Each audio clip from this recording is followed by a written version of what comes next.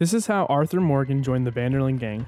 Arthur was born in 1863 to Beatrice and Lyle Morgan, somewhere in the northern US. As a child, his mother died of unknown causes while his father was an outlaw. At just the age of 11, his father was arrested for theft. Arthur would soon witness his father's death, and despite his poor relationship with him, he kept his hat and a photo of him. In 1877, Arthur was an orphan and a wild delinquent, and was picked up off the street by Dutch and Hosea, who he would see as surrogate father figures and soon picked up on Dutch's vision of a life free from the constraints of civilization. Both Dutch and Hosea taught Arthur how to read, write, hunt, fight, shoot, and ride horses, becoming the pair's first protege as well as one of the founding members of the Van der Linde gang. It's clearly seen that Arthur was raised an outlaw, and a badass one at that.